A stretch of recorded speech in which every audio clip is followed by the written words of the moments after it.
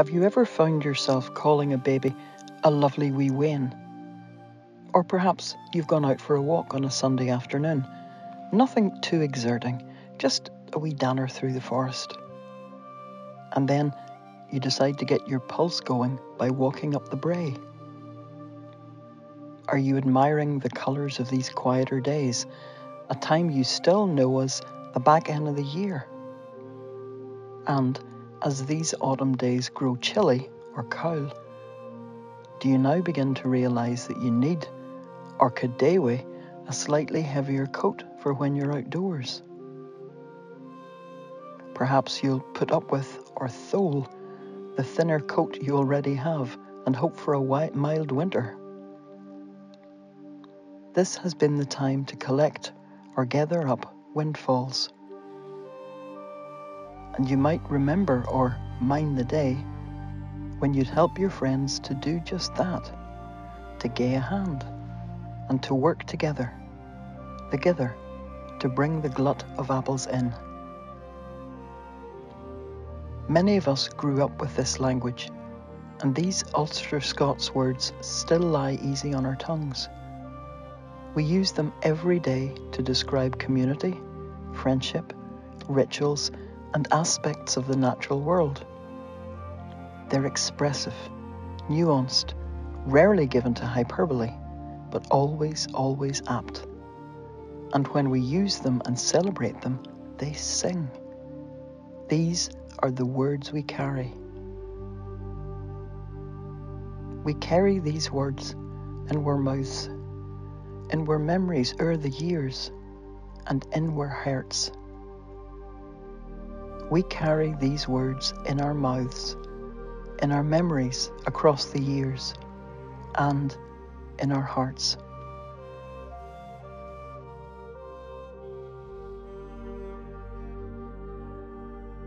The oldest of three girls, I grew up on a wee farm in the townland of Mavinnis, nestled between Garvagh Kilrea and Aghadowey. My dad was a farmer. For a long time he kept pigs and a tiny herd of milking cows, and then he moved to rearing drop calves and beef cattle.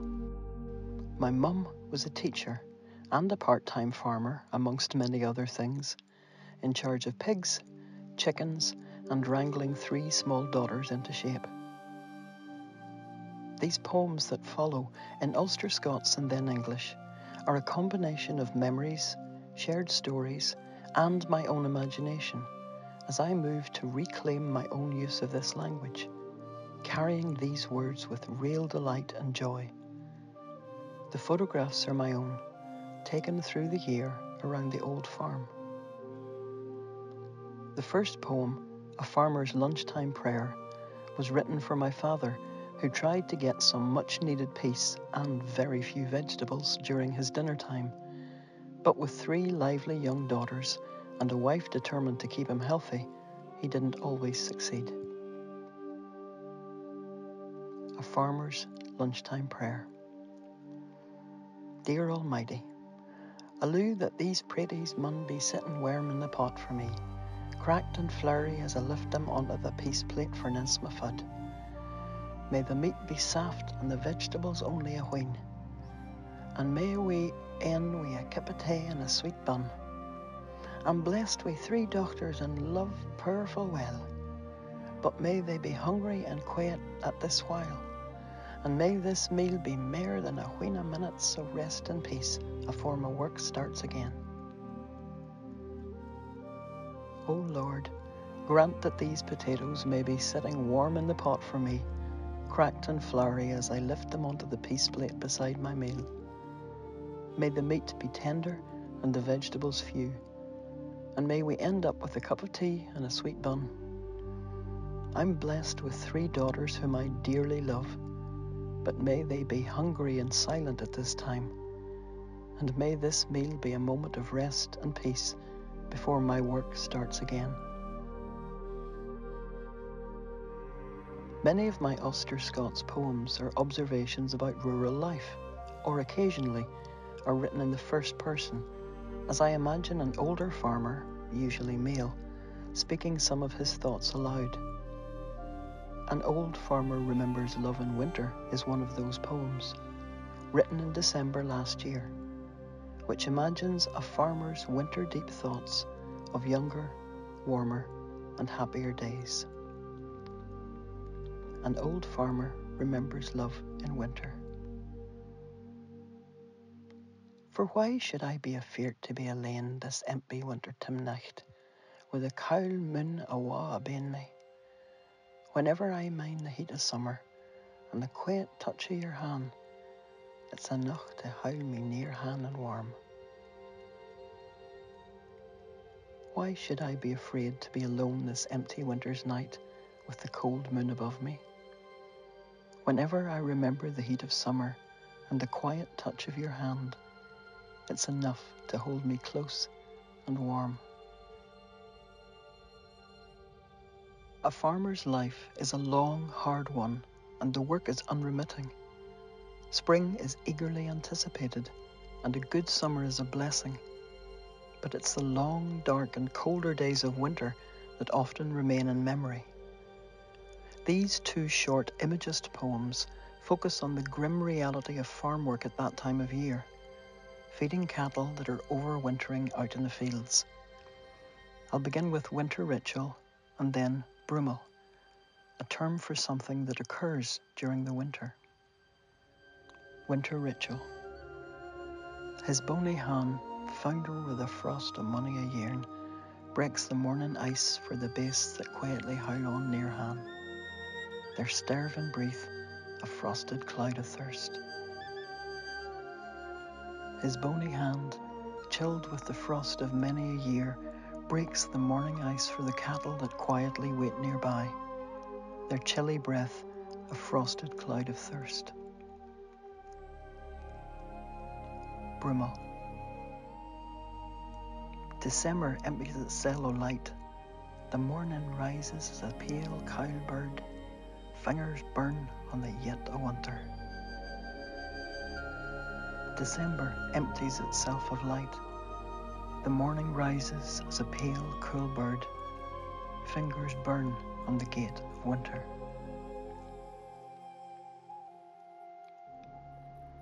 Cats are parts of many farms, more often as spoiled indoor pets nowadays, but for many years they would have simply been tolerated as shadowy figures around the farm, hunters who lived outdoors and kept the rats and mice at bay. When I was young, there was a daily ritual that the older, more canny cats expected, and that my father honoured. Fresh milk straight from the cows after the byre had emptied and the herd had been walked back into the field. It was a treasured moment for these semi wild creatures. This is thanks. Thanks. The old cats sit quiet again the byre, in a morning ritual that leaves them ready for the day. These are the tithery beasts, seeds of the back end of the year gathered thick and wechty in their fur, cuts and scars for their money fixed at the scrack of day. Yin lug torn half away, another cat blind in yin eye. Tay wild for folk to handle whenever the rat bit back. They hunt hard, catch the vermin, keep the ferm clear. Knew the dairy is empty and the beasts are gone, but the cats be's howling on. A half moon o' hunters sitting wild still. The farmer hefts the bucket up, tips her oar, fills their bowl, gies them thanks as best he knows.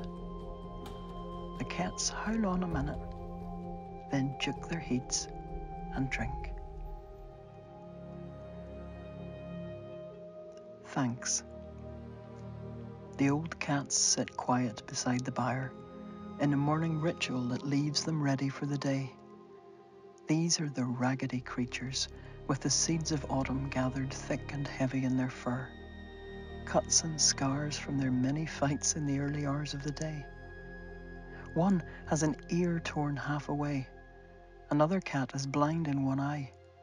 It was too wild for people to handle when the rat bit back. They hunt hard, catch the vermin, keep the farm clear. Now The dairy is empty and the cows are gone, but the cats are waiting. A half moon of hunters sitting very still. The farmer lifts the bucket up, tips it over, fills their bowl, gives them thanks as best he can. The cats wait just a moment, then dip their heads and drink. Not all my work hearkens to the past. My Ulster Scots is the language of people, of the soil, and of the land, so it's natural to write about the world that surrounds me, marking the changing seasons and the light they bring. These next unnamed brief poems capture the changing year around the old farm. There's space for pace and thinking here. I learn patience frae these quiet minutes and find that gift of morning light. Springtime is on its way. There's space for peace and reflection here. I learn patience from these quiet moments and find the gift of morning light. Springtime is on its way. Good nicht light ur an April brae. The sun drops slowly down and tips new growth wi' gold. Fine evening light across an April hill. The sun drops slowly down and tips new growth with gold. Morning fire opens the sky. Hedges and grass fill with cowl, soot drops of rain. A wild hare rins o'er the empty field to the safety of the shedded moss. Morning fire opens the sky. Hedgerows and grass fill with cool, plump drops of rain. A wild hare races across the empty field to the safety of the shadowed moss. Who it is to be lonesome as a tree at the back end of the year, bearing witness to the season's end. As light fa's lech and simmer is only a memory now. How it is to be lonely as an autumn tree, bearing witness to the season's edge as light falls low, and summer is only a memory now. October water light and shade, colours he gathered quietly new, deep into the ends of the day. October river, light and shade, colours have gathered quietly now, into the edges of the day. Cowl nicht light, the gloamin' he's drawn down, soft colour, the air sharp and ready to snap. Cold evening light, dusk has drawn down, soft colour, air sharp and ready to snap. A quiet, still minute atween storms. The land lies empty now, but the wintertime sky is full. Sin is only a memory at the old farm. A quiet, still moment between storms. The land lies empty now, but the sky is full. Sun is only a memory at the old farm. Craws gather in a gay cowl sky. Morning ca's colour to this last day of the old year. Crows gather in a bitter sky. Morning calls colour to this last day of the old year. This final poem was read at the wonderful Frances Browne Literary Festival in Ballybofey a few weeks ago. It's a meditation on the joy we gather from nature as we find peace and beauty in the moment. Thank you for joining me on this short Ulster Scots journey. I'm gay gladsome to hae had ye along with me. All life is breath. To understand these years that weigh upon us, we need to ken the morning air. Nae mair the fierce short sicha winter that draws cowl air for the maw o' the darkest day, nor the soft, sweet touch of springtime, wechty with the gathering scent of living things. No e'en the gold wecht o' light at the back end of the year, when all life's movement slow. No, it is the early morning mist howling that first endless breath of summer Don fresh bricht light that burns off quick, but in them first sweet minutes wraps us in endless peace, hope, and joy. To understand these years that weigh upon us, we need to understand the morning air. No more the fierce, short sigh of winter that draws cold air from the depths of the darkest day nor the soft, sweet touch of springtime, heavy with the gathering scent of living things. Not even the golden weight of light in autumn when all life's movements slow. No, it is the early morning mist holding that first endless breath of summer, that fresh, bright light that burns off quickly. But in those first sweet minutes, wraps us in endless peace, hope, and joy.